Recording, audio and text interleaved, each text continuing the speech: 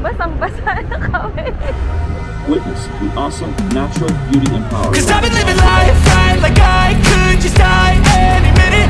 For a ride down the side, PCH country limit. I don't need a guide, follow lights, take me where I wanna visit. Are you alive? Or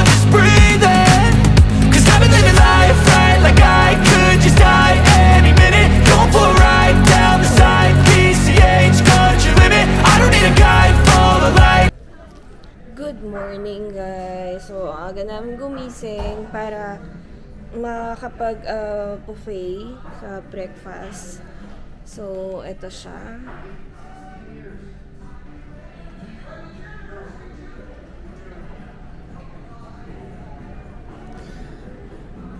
Yung breakfast dito, may konting view. Meron siya- Meron siyang konting view mamaya. Eh, madilim pa eh. Pero ano na, magsi-7.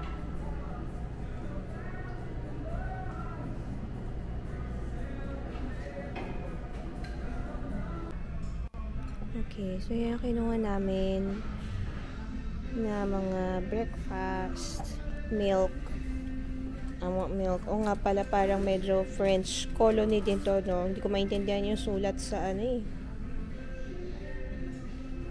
Sa gatas. And, uh, suppose, supposedly, andyan yung Niagara. But then, ah, madilim pa. Hindi pa kita. Ano, medyo lumiwanag na. So, kita na sa video yung ah, view namin. Yan, Niagara pa din. Siyempre, sarap ng croissant. Croissant. Grabe. Pang ilan ko na. moving.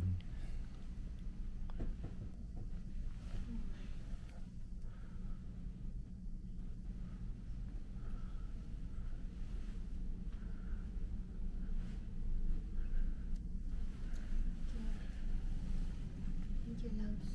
Let's get the sunrise. May, may I borrow your phone also? Buka na dito. So, ayan yung um, pang beer keme.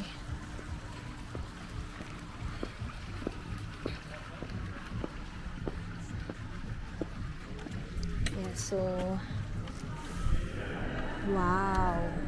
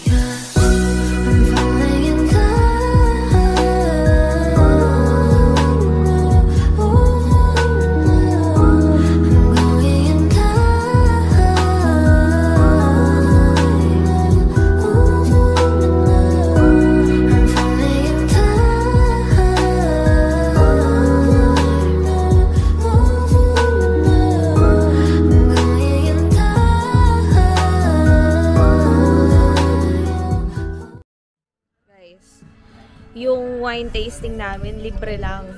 Grabe. Ang sarap. Libre lang siya. VIP. Gawa, ngayon nga, nag-check-in kasi kami sa, sa Marriott. Nakalibre pa. Astig, ang sarap, grabe. Para ka lang umiinom ng ano, grape juice. Grape juice lang talaga.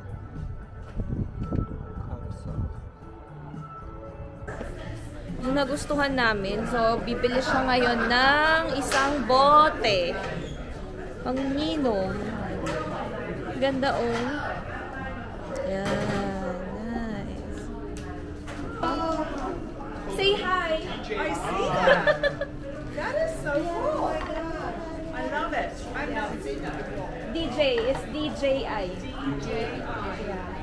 And you can film discreetly, just like that. Oh! Yeah. Yeah. Oh yeah, it's re- it's good. I never seen you and, and you were talking. I Yeah. you were doing something. I Yeah. thought it was a selfie stick and you had the, the No.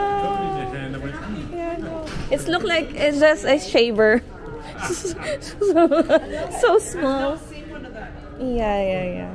Yeah. Oh, you should get one. okay, you're welcome. Tuwa na naman sila sa camera natin. Ang dami natutuwa sa camera natin. Kasi nga maliit lang, super liit. Talagang tinawag nila ako. Sabi nila, hoy, hoy, hoy, hoy, te. Te, ano yung hawak mo? Nakakatuwa sila. Ito yun, ito yung masarap, pero mahal. Ah, ito yung masarap. Uh, one. Sparkling. Ito yung binili mo. Yep. Yung, mas- yung masarap. Ang sarap. Ang liit-liit niya, pero siya yung pinakamahal. Ice wine. Tingnan mo, ayaw niya tumigil sa... ayaw po niya tumigil sa tasting. Mm, ni-mix. So, Sauvignon Blanc. Yan yung mga grapes. Meron pa yun, no? Namimitas sila. May namimitas po sa kabila. Kita ba? Yan, grapes. Andito tayo sa ah, Lin. It's so nice. May matcha. Let's try.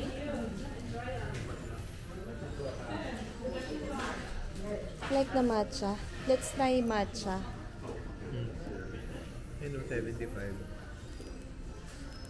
What do you mean?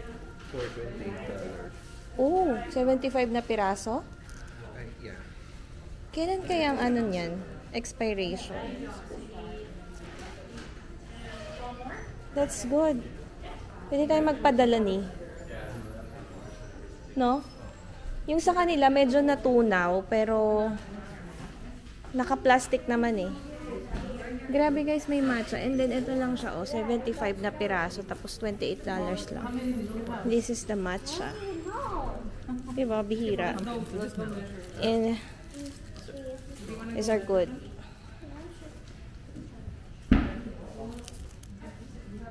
Yan, masarap yan. Oh, may mangoes and cream. Okay, we'll buy. So we're going to get the ano 100 pieces for 35 uh dollar.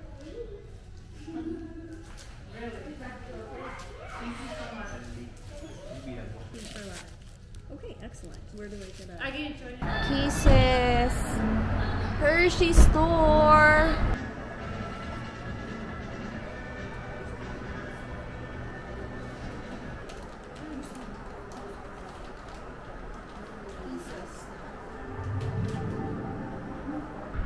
Ka din. Hmm. Eh di sana, yung mga gustong mag... Yung nag-New York side. Duty free.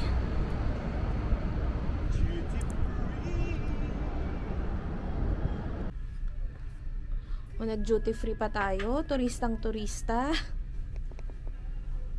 Mm. Wala kasing tax.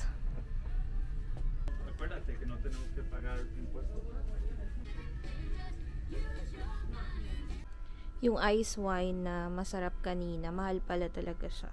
Dito sa duty free, ang dami. Pero sobrang mahal niya.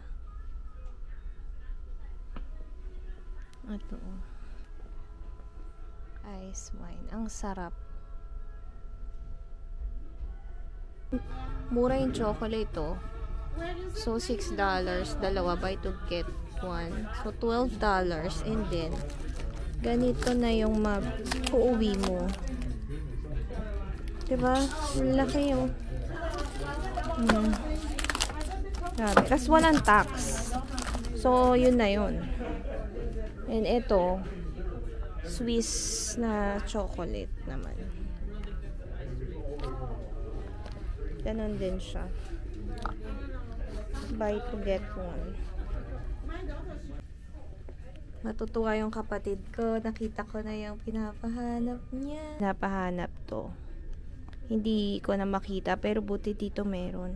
And magkano lang? 30 plus USD. Wala pang tax. So, I will buy tomorrow. Bawal kasi bumili ngayon pag hindi ka papabalik ng Amerika. Kasi wala walang tax dito. So, we'll buy this. Okay. This is um recommended chocolate. Ay, ang cute to.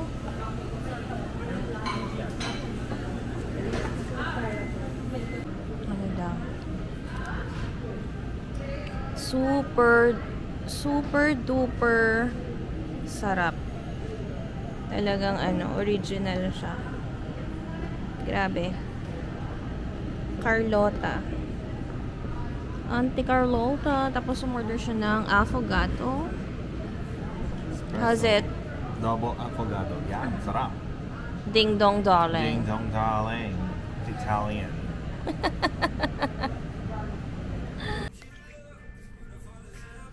Uwi na tayo. Ay, hindi pa na tayo uwi. Sasakay tayo ng boat. Lalapit tayo dun sa falls. So, sana makunan. Ito yung sample. Tingnan nyo, may boat na dun. Kita ba? Tingnan natin. Yun o.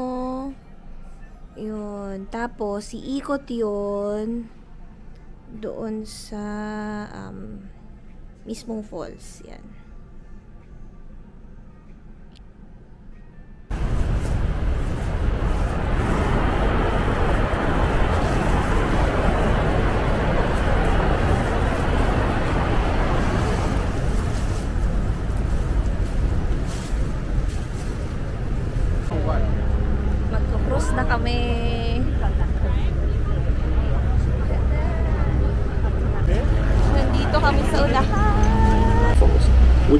Which in comparison is a smaller waterfall that lies far to the left of the Horseshoe Falls and is located between Prospect Point and Luna Island. According to scientific study and historical research, it has been concluded that the American Falls will eventually transform into a succession of descending rapids due to natural forces of erosion.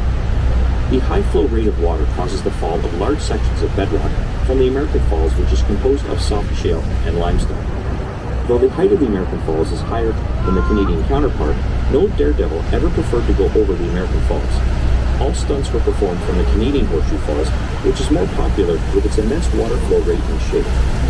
The height of the American Falls stands at 180 feet or 56 meters high. Its crestline is 1,075 feet or 328 meters wide. Its water flow, 75,000 gallons or 8,800 liters na per second. And a recent notable rockfall. In 1954, a large section broke off and fell near the end of Prospect Point. Next is Bridal Bridalveil Falls. The smallest of the three waterfalls, it is located on the American side, just to the right of the American Falls, separated by Luna Island. Goat Island is much larger and separates the American and Bridal Bridalveil Falls from the Canadian Horseshoe Falls. The height of Bridalveil Parang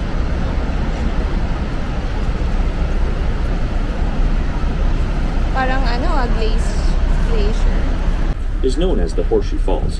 As a natural wonder of the world, the Horseshoe Falls name derives from the crescent or horseshoe shape of the crest line, and the city of Niagara Falls in all its natural beauty continues to be a holiday spot for millions of visitors from all over the world each year.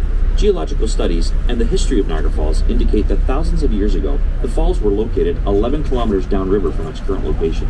Erosion was a major issue associated with the Canadian Falls. The average rate of erosion for Niagara Falls was as much as 1 meter per year until the early 1950s. Since then, the water diversion channels and canals used for generating electricity have decreased the water flow, reducing the erosion of Niagara Falls, and to this day, Niagara Falls remains a clean and significant source of hydroelectric power. There are over 500 waterfalls in the world taller, but Niagara Falls is the biggest waterfall in the world for volume of water flowing at an average of 750,000 gallons per second.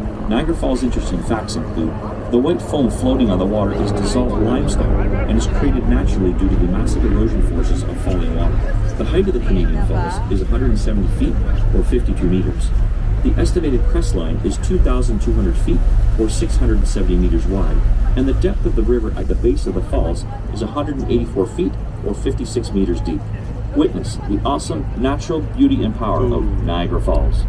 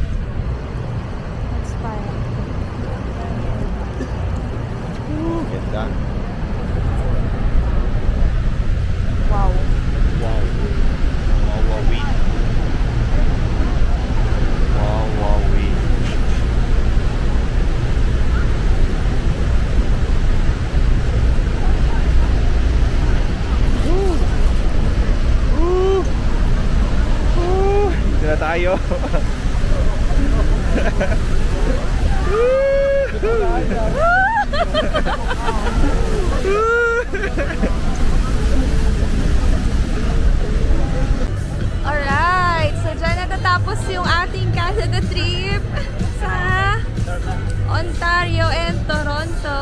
Thank you! Sana napasyal din namin kayo kahit sa video. See you ulit sa mga susunod na gala.